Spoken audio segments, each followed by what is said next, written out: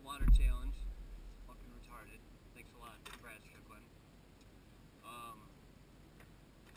Levi Swander, Luke Milligan, Taylor Milligan, and uh, Kyle Phillips. You chumps are up next.